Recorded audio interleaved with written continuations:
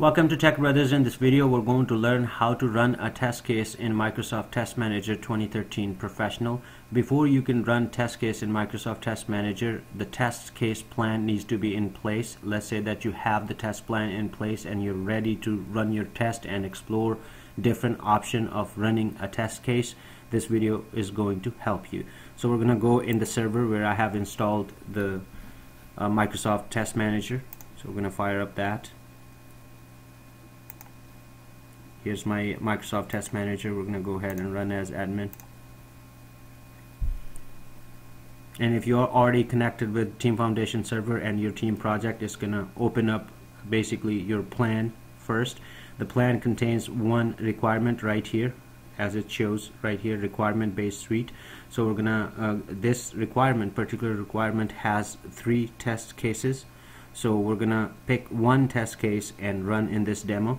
But um, you can uh, um, you can just uh, go ahead and add more plans if uh, test case plans um, here if you would like to do that. But what we're gonna do is in order to run this particular test we're gonna click on test tab right here.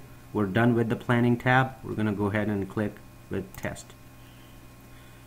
As soon as you will click on test tab different options will appear for you and right here is the first option that you wanted to run all the active tasks in this particular suite or you wanted to run one task as a, at a time.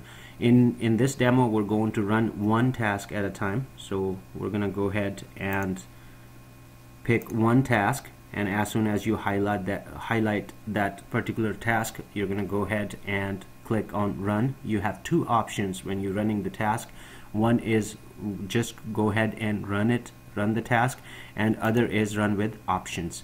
Up here if you do that run with options you if you have a complex uh, test uh, case plan and you you have a lot of test cases then you can go ahead and run some of the failed test cases or some some of the cases with the special case uh, test cases that you can rerun those. So we're going to go ahead and use the first option click on run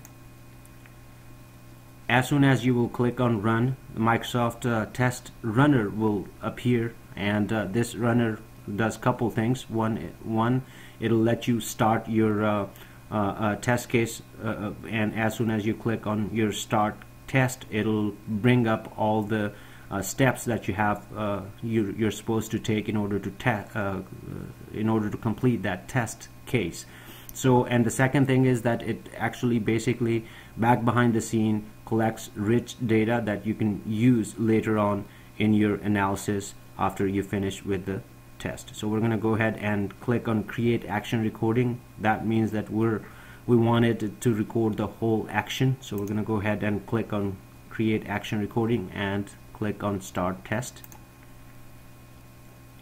As you notice that it brought all the steps in our particular uh, test case. So we're going to go through each step. And based on our results we can mark that that test pass or fail.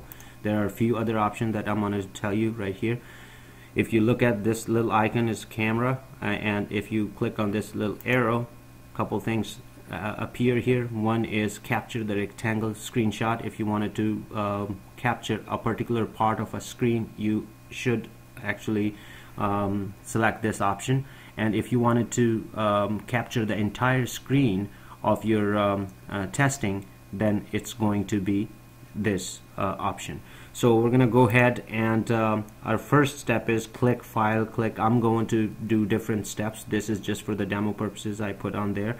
So let's say that my my first step is that uh, open up uh, Internet Explorer. So we're gonna go ahead and open up Internet Explorer here's my Internet Explorer and the second step is uh, go to the Gmail or go to the login page. Alright click on sign in. That would be the third step let's say. So our fourth step is sign in and see if it works for us. So first step we saw that it passed.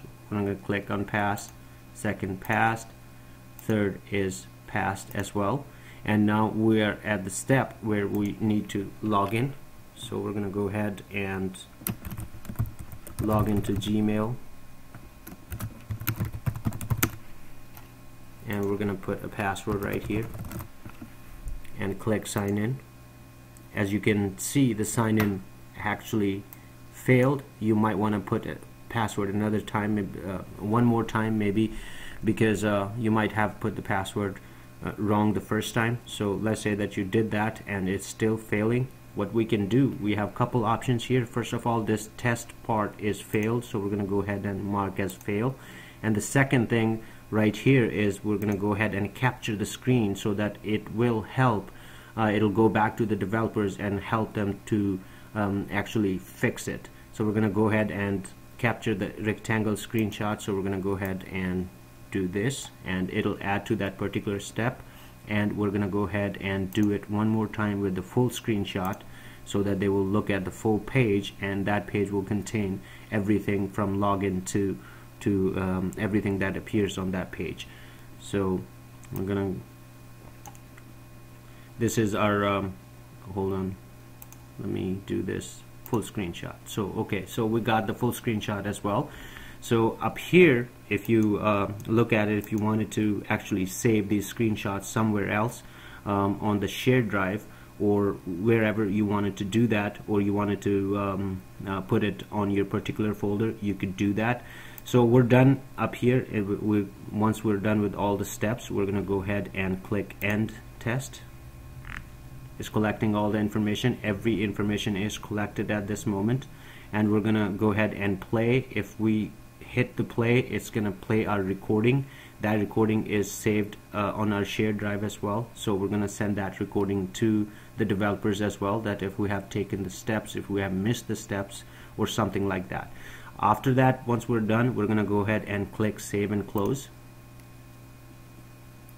Alright we're back to our um, uh, uh, testing. These are uh, two failed uh, tests versus uh, um, first first in first demo I did the click to view the source code and the second is uh, uh, the first is click on the link and the second is click on the view. So if we wanted to uh, actually look at the view the results we need to highlight that particular task and click on a per particular case and click on the view results and all these these screenshots are here there are a lot more options right here that you can explore and use once you're done. If you wanted to edit that once you're done you can close that.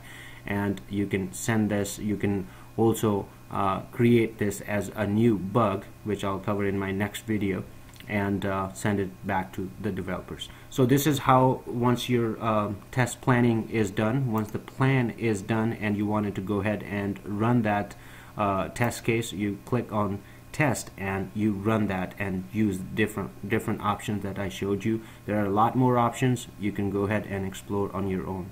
And I hope this video helps